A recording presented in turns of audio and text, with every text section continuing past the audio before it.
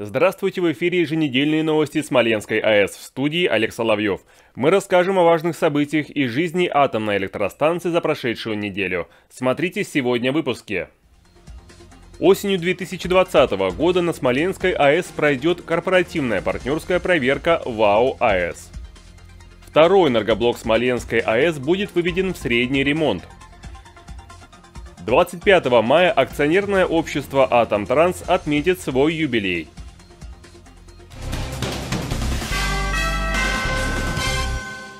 На Смоленской АЭС в работе три энергоблока. Общая мощность составляет 3105 мегаватт. Замечаний к работе оборудования нет. Выработка электроэнергии Смоленской АЭС за 18 дней мая составила 1 миллиард 220 миллионов киловатт-часов электроэнергии. Всего с начала года выработано более 8,2 миллиардов киловатт-часов. Сверх плана 134 миллиона киловатт-часов. Радиационный фон на промышленной площадке Смоленской АЭС и прилегающей территории не изменялся и соответствует естественным природным значениям. Фокусом внимания корпоративной партнерской проверки, которую в ноябре 2020 года проведут эксперты Всемирной ассоциации организаций, эксплуатирующих атомные электростанции, будет эффективность корпоративного взаимодействия. Этот инструмент успешно применяют ведущие ядерно-энергетические компании Канады, Франции, Бельгии Германии. На АЭС России аудиты корпоративного взаимодействия проводятся каждые 6 лет. Смоленская АЭС активно вовлечена во все программы Всемирной ассоциации, помогающие обмениваться с коллегами из разных стран практическим опытом и передовыми практиками.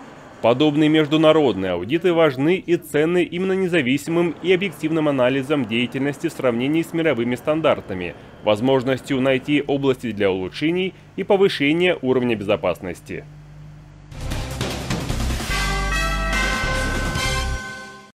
22 мая на средний ремонт по графику, утвержденному руководством концерна «Росэнергоатом», остановит энергоблок номер 2.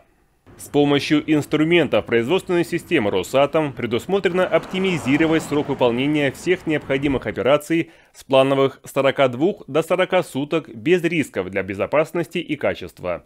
В достижении общей цели будут вовлечены 1300 сотрудников атомной станции и подрядной организации, акционерного общества «Атом Энергоремонт». Короткие сроки планируется выполнить сотни операций на оборудовании реакторного, турбинного, электрического цеха, цеха обеспечивающих систем, цеха тепловой автоматики и измерений и других подразделений.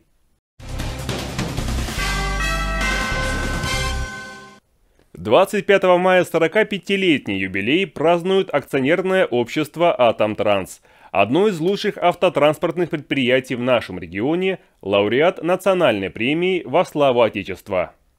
Коллектив возглавляет заслуженный работник транспорта Российской Федерации, депутат Смоленской областной думы, почетный гражданин Десногорска Михаил Лосенко. В коллективе трудятся настоящие профессионалы своего дела. Сейчас акционерное общество «Атомтранс» успешно решает основную задачу – транспортное обеспечение Смоленской АЭС – Здесь трудятся более 300 высококвалифицированных специалистов. В арсенале предприятия более 240 единиц автомобильной техники. Работают базы и мастерские по ремонту, автомойки, автозаправочная станция, линия технического контроля для техосмотра. Масштабно внедряются современные технологии. Высокое качество оказания услуг – Следование строгим стандартам безопасности позволили неоднократно лидировать в городских и областных смотрах-конкурсах по охране труда в конкурсе Российской организации высокой социальной эффективности. В 2018 году акционерному обществу «Атомтранс» присвоен статус ПСР предприятия. Десятки лет предприятие ведет благотворительную деятельность, помогает учреждениям образования, здравоохранения, общественным организациям Десногорска и Смоленской области – шествуют над центром солнышка. Сегодня активно ведется работа по реконструкции мемориального комплекса «Курган славы» и создание музея Великой Отечественной войны под открытым небом. На базе предприятия функционирует спортивный комплекс, оборудованы трибуны, два футбольных поля. Любители здорового образа жизни могут заниматься на баскетбольных площадках, теннисных кортах, уличных тренажерах, зимой кататься на освещенном катке. На стадионе «Атомтранс» проводятся десятки соревнований, турниров, фестивалей. Достижение высоких результатов было бы невозможно без слаженных действий руководства «Атомтранс» и искренне преданного делу коллектива.